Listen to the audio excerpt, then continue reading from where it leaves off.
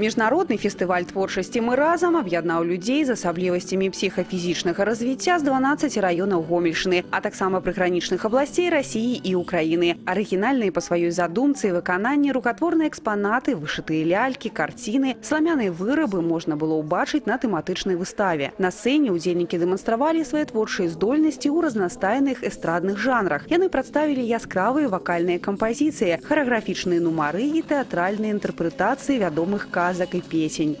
Приезжают дети, конечно, со сложными судьбами, с различными заболеваниями, но фестиваль их объединяет. Они показывают, какие они таланты, какие они умницы.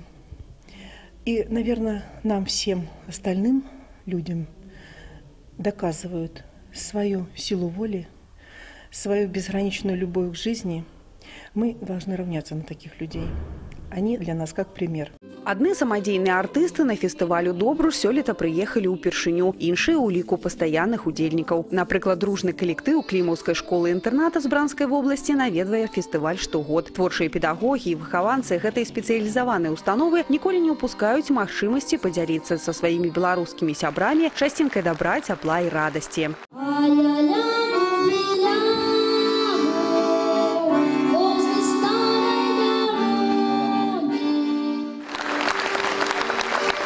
Я люблю участвовать.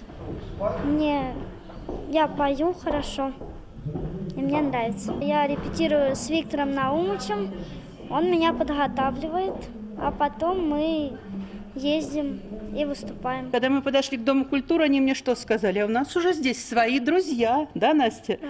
Она сказала, у нас здесь друзья, и мы их увидим.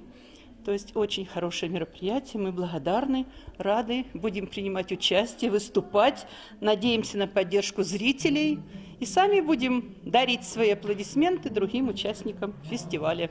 Міжнародны фестываль творчасці сярод людзей з абмежаванымі магчымасцямі мы разам заўсёды ладзіцца пры падтрымцы абласных і раённых уладаў, а таксама спонсарскай і дабрачыннай дапамогі. Штогода арганізацыі мерапрыемства далучаюцца ўсё больш неабыякавых людзей. Што тычыцца ўдзельнікаў, прыкметна ўзрастае ўзровень іх творчага і выканальніцкага майстэрства. Тут няма прызавых месцаў. Арганізатары імкнуцца кожнага адзначыць памятным падарункам. Для многіх выхад на сцэну гэта ўжо вялікая перамога над сабой. Вераніка Варашылі Анастасія Кучынская, Ігор Марышченко, телерадіокомпанія «Гомель» з Добруша.